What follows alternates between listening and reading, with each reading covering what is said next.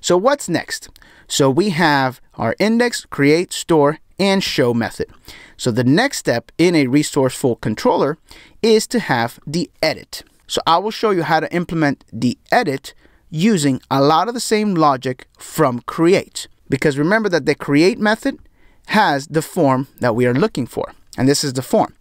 So if we could reuse this form, it would be even better because then we don't have to maintain two forms. So we're going to do a little bit of refactoring into partials to make that work.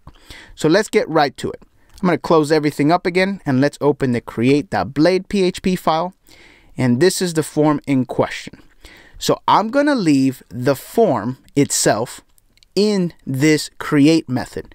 And the reason being is because the action will change from one form to the other. But this is the part that we can use here. So I will take all of this and I'm going to cut it out and then we're going to put this in a partial. So let's say include customers dot form. So let's create that now. In my customers directory, new file, form dot blade dot php. So we have this, and if we go back, it's still working. Now this CSRF, we can actually move this into form. Let's put it here at the end. There we are. Refresh, still working. All right. I'm going to save as this create method and I'm going to change it to edit. Remember, that's our next step. Let's go back. Here it is. This is the step that we are on. We're on the edit step. So edit.blade, I'll save that. So we'll say edit details for, and then of course we're gonna need a customer. So we know we'll have a customer and we could put their name in there. We'll say edit details for and let's put in the customer name again. Okay. And then the button needs to say save customer. And where is this action going to be? Let's go back to our guide. And the action is going to be to the update method, right? So the edit is the form that we're going to change to make the changes. And then we're going to put or patch to this update method. So we know the URI is going to be the resource name and then the resource ID.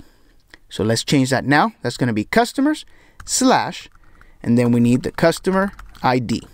That's what we're going to be posting to. But you can't change this and just put patch, right? That doesn't work.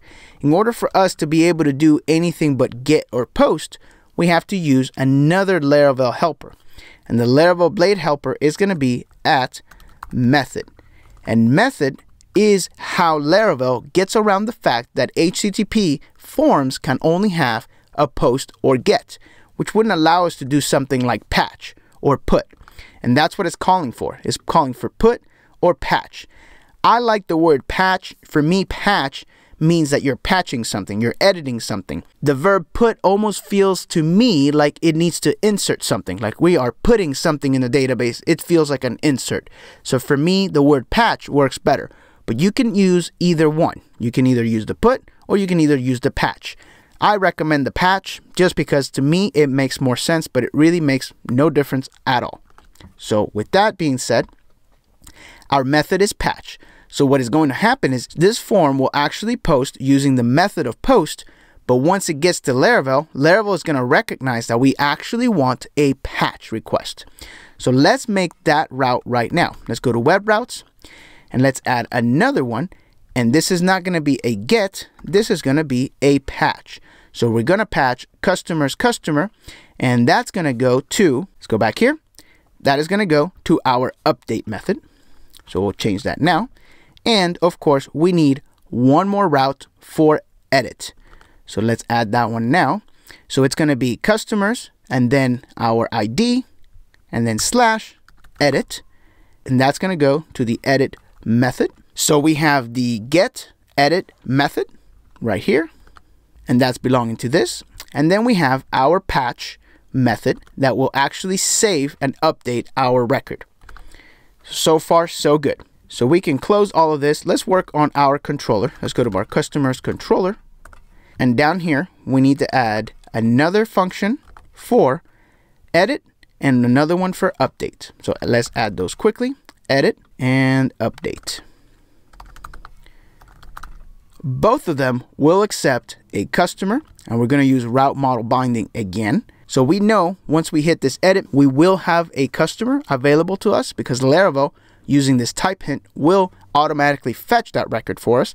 So that's very convenient. In the edit method, all we need to do is return a view of, again, convention, customers.edit. And we're going to compact customer. And then we'll work on our update method, but let's get this working first.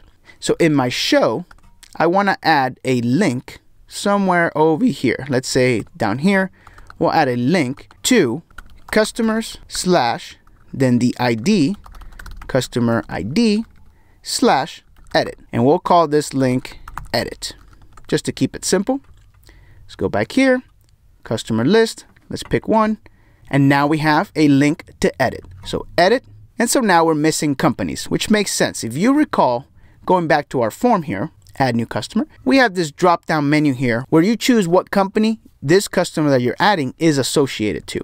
And we're giving that data to that method using this company's all. Let's go ahead and pass that in. Let's do the same thing in our edit menu. We'll pass in the companies and we'll go ahead and compact companies. All right, let's go back and try that one more time. John Doe, edit, and there we are. So we have the edit view for John Doe. However, none of the data is filled out. We definitely need to fill out that data. So where's that data coming from? Well, at this point, we've been using old for that, but we can say use old or let's use customer name. Let's go back here, hit refresh, and there we go. So now we have John Doe coming through. Let's do the same thing for the email.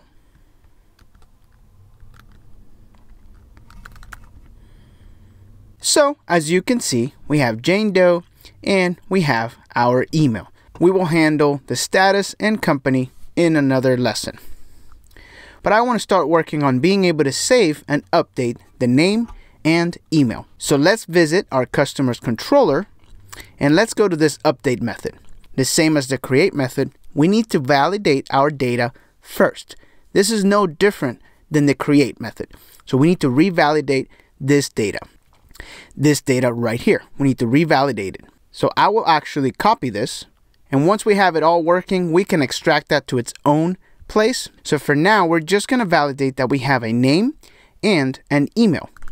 So then we're going to take our customer and we're going to update it using this data that we just acquired.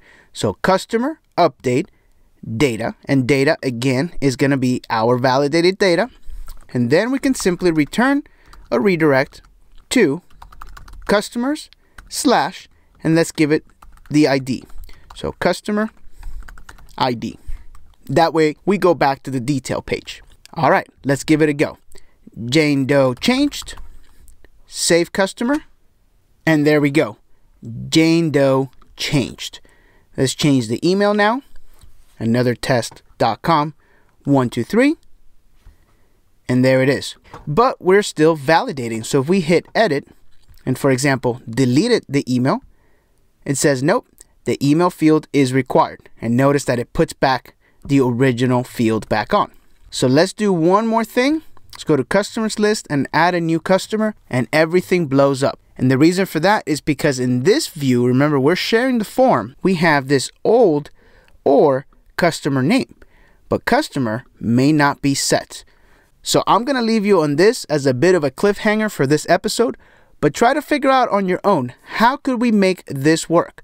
How could we have old and a customer name in this value so that we can continue to reuse this form for both the create and the edit. So try to find a solution for that.